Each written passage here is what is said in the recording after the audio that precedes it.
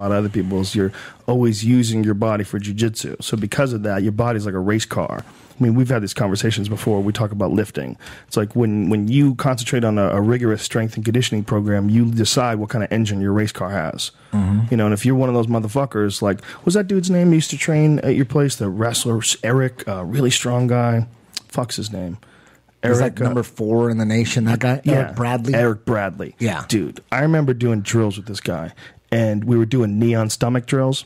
And this motherfucker, I, I got a pretty good knee on stomach. I can hold some dudes down. This motherfucker launched me through the air. Like, like you, he had like ridiculous, like physical strength, like Yeah. ridiculous physical strength. Yeah.